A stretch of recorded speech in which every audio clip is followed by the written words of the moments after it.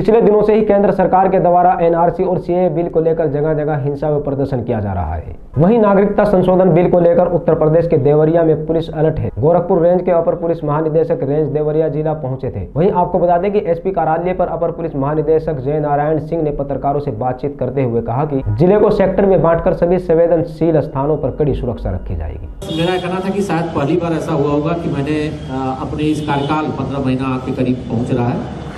पंद्रह महीने कार्यकाल में गोरखपुर में हमने तीन नए थाने सृजित करा दिए हैं, जिसमें से दो थाने का क्रियान्वयन भी हो गया है। आपको मालूम होगा थाना गीडा और रामगढ़ ताल दोनों थाने वहाँ क्रियान्वित हो गए हैं। एक थाना भी शासन से स्वीकृति प्राप्त हो गई है। जल्दी हम वहाँ पर भी जाते हैं। अब शासन से स्वीकृति प्राप्त हो गई है तो एम्स में अभी थाना वहाँ वहाँ पर हम क्रियान्वयन करने जा रहे हैं। यहाँ पर भी अभी प्रस्ताव भी कहाँ है? किस स्तर पर हाँ दो थाने प्रस्ताव मेरे ही मैंने यहीं पर नहीं कोई परिक्षेत्र में।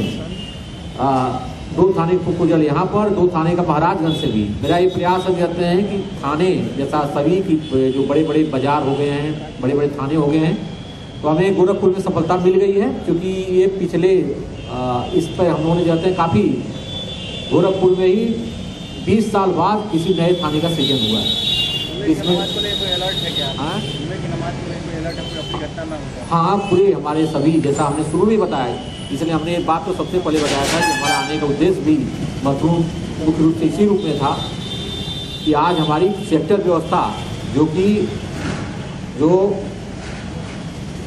जब निर्णय आया था माननीय न्यायालय का कहते हैं जिसमें से सेक्टर व्यवस्था यहाँ पर लागू की गई थी वो सेक्टर व्यवस्था कल भी और आज उसको लागू कर दी गई है।